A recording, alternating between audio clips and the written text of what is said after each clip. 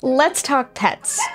Look, more and more renters have had pets than ever before, so it's super important to accommodate their furry friends or accept that it might be harder to fill your vacancies, which of course you don't want. In fact, according to the America Pet Product Association's 2022 National Pet Owner Survey, 70% of US households 90 million families own a pet. More significant is the fact that the number has been steadily increasing for decades, with it being just 56% in 1988 and then 67% recently in 2019. But that doesn't have to mean that every pet should be allowed in your rental property. And this is why conducting a pet screening is becoming increasingly important. So to begin, let's go over what is a pet screening and why is it important. A pet screening is essentially a background check for a prospective tenant's pet. This background check is done before a tenant moves in and is typically part of the tenant screening process. Some of the things that are checked in a pet screening include things like pet's behavior, a pet's age, their medical history, breed, gender, age, weight, and anything else that you find important. Depending on the property managers, there can be multiple parts of a pet screening process. Also, the property management may choose to conduct the screening process through a third-party service or potentially do it themselves. Nevertheless, pet screenings are a very important part of a landlord's job to help make sure the property stays in order. So here's some of the notable benefits of conducting pet screenings for your prospective tenants. The first and possible most important reason is to protect their property. Since having cats or dogs inside a rental property increases the risk of property being damaged, it's important to make sure that the risk is as low as possible. This is the main reason that property managers used to not allow pets in their rental property. Also, since dogs and cats especially shed a lot of hair,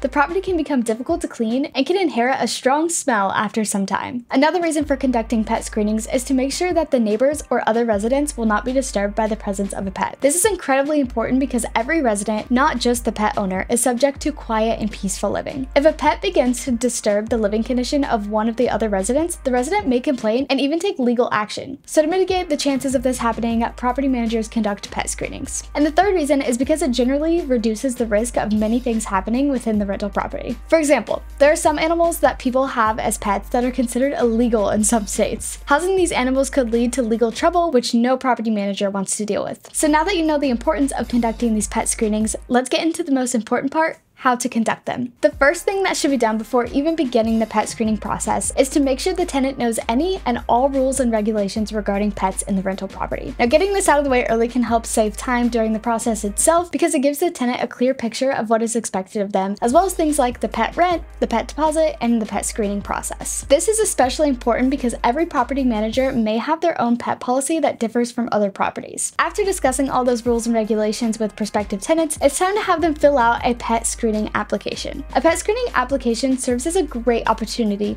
to ask questions to make sure the tenant's pet will be a good match for the rental property. Some of the questions that you might ask on a pet screening application include what type of pet is it? How long have you had the pet? Does the pet have any behavioral traits that can cause problems? How much time a day will the pet be spending alone? Is your pet house trained? Are you willing to pay the pet security deposit and pet rent? Will there be any pet sitters that stay at the property? And anything else that the property manager may find important. Some applications will also require a pet resume resume, which essentially is just information about the pet. This application will typically be done online and generate a pet profile for the pet, especially if the property manager prefers an online pet screening. An online pet screening is usually the easiest method as it doesn't require much effort from the property manager and compiles the pet's complicated life into one simple profile. If the pet screening application had some red flags, it may be appropriate to conduct a pet interview. This in-person interaction is sometimes part of a pet screening service, but can be done by the property manager themselves. During the interview, the first thing that should be done is to make sure the pet matches the information given on the application. This means make sure it matches the photo, the breed, size, etc. Then it's important that you begin to address the concerns you had from the application. You should note any aggressive behavioral traits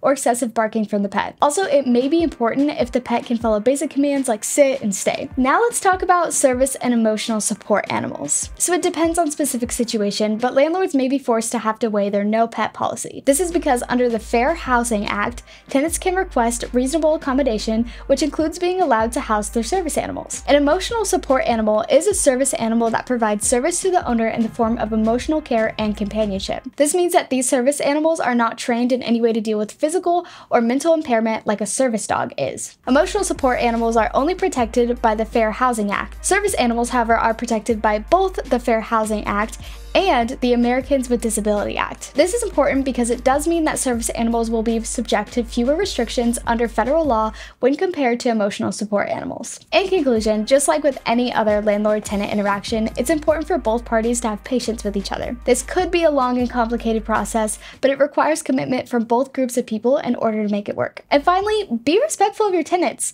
These animals probably mean a lot more to them than you might think. If this video helped you out, make sure to give it a thumbs up and subscribe for more property management tips. I'll see you in the next one. Bye!